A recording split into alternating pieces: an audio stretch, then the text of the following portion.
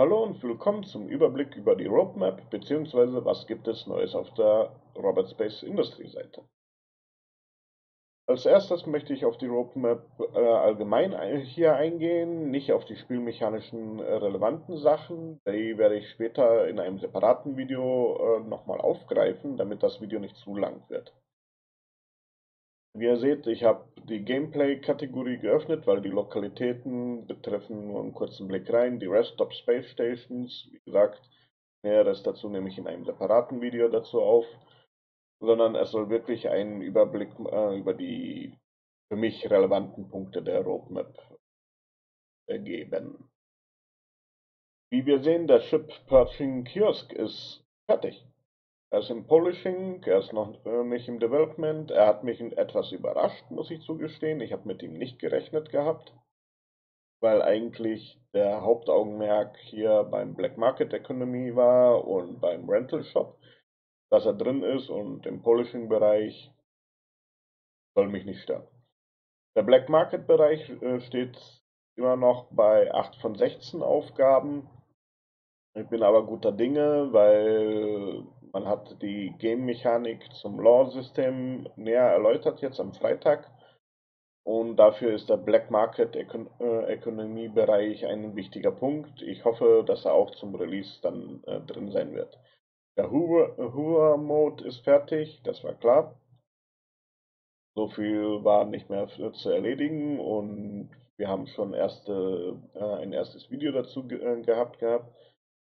Die Weapon Attachment sind für mich jetzt nicht so relevant, äh, dass ich sage, ich muss sie unbedingt fertig sehen, aber wir sind auf gutem Weg. Was mich ein bisschen beunruhigt, ist der Ship Rental Bereich. Es sind zwar nur fünf Tasks, die zu erfüllen sind, der ist gerade eins von fünf äh, äh fertig. Ich hoffe mal, dass das mit dem mit der Fertigstellung vom äh, äh, Ship Kiosk dann auch äh, der, die Entwicklung äh, beschleunigt wird für den Ship Rental Bereich. Der Player Free Look ist fertig. Der Ragdoll Improvements sind fertig, Player Jumps sind fertig, die Chips Degeneration Improvements sind fertig, das erfreut mich unheimlich. Genauso wie dieses System Misfire. Ich freue mich schon zu sehen, wie sich das im Spiel bemerkbar macht. Und die Player Carables äh, in der Version 2 sind auch abgeschlossen. Sowie das Transitsystem ist überarbeitet und drinne. Das Law-System habe ich ja vorhin schon erwähnt. In der Version 1.0 steht kurz vor der Fertigstellung. Die näheren mich, äh, Punkte, die dazu kommen, werde ich in einem separaten Video erläutern, weil wie gesagt, am Freitag gab es ein Interview in dem Bereich, wo ich auf ein paar Punkte näher eingehen möchte. Dieses Video soll hier nicht zu lang werden. Kommen wir ähm, zum Bereich äh, Schiffe und Vehikel. Das ist ein sehr interessanter Bereich für die meisten Leute. Und jetzt habe ich natürlich die falsche Kategorie offen. Wo ist mein 3.6? Entschuldigt bitte. Äh, Schiffe und Vehicles. Ähm, ihr seht, die Aegis Vanguard One steht bei 6 von 14.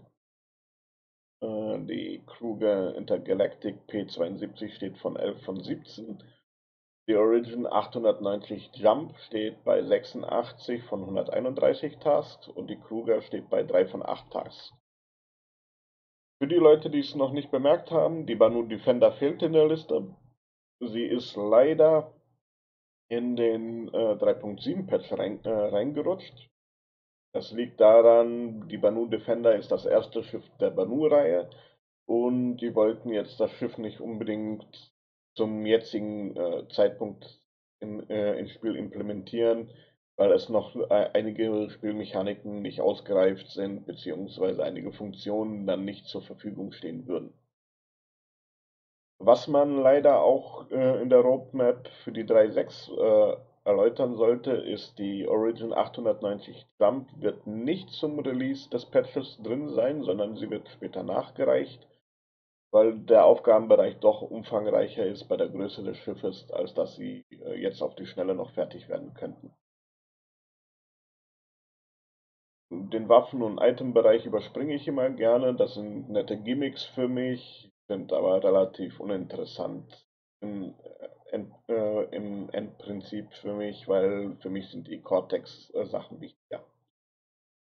Im Cortex-Bereich, wenn wir reingucken, der äh, Client-to-Server-Actor Network Rework ist äh, fertig, der Asynchronous Disconnection Refractor ist fer äh, fertig.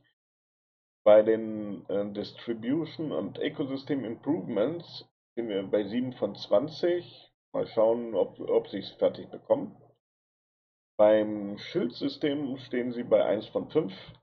Was guter Dinge ist, dass sie vielleicht noch die vier, die vier Tasks äh, fertig bekommen, bevor das, äh, der Patch angeht.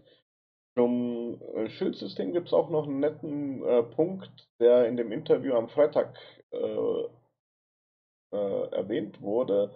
Den möchte ich aber auch in dem separaten Video aufgreifen. Die Harvesting Entity Spawning ist fertig. Und halt bei äh, Performance Optimization steht halt immer Scheudel drin, weil das ist ein Bereich, den sie halt immer ausarbeiten. Dann möchte ich das jetzt auch nicht allzu lang noch machen, was es an Neuheiten auf der Website gibt. Und zwar ist es im Bereich Shop. Wie wir sehen, die M50 äh, ist reingekommen mit 108,29 Euro. Die gab es bis jetzt noch nicht im Shop. Dann ist die äh, Anvil äh, Aerospace Valkyrie für die Subscriber reingekommen für, äh, für diesen Monat für 406,09 Euro. Und was jetzt definitiv als, äh, als Standalone-Schiffe zur Verfügung steht, sind die 600 i-Varianten, die Touring sowie die Explorations. Wir sehen, die Touring kostet 471,06 äh, Euro Genauso äh, kostet die 514,38 Euro die Exploration-Variation.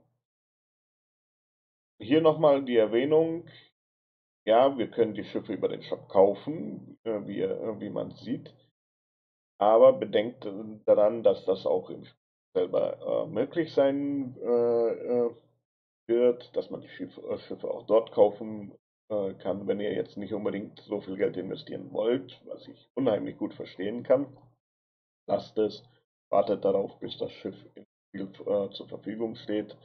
Wir haben jetzt schon im Patch 3.51 die Loadout-Persistenz bekommen.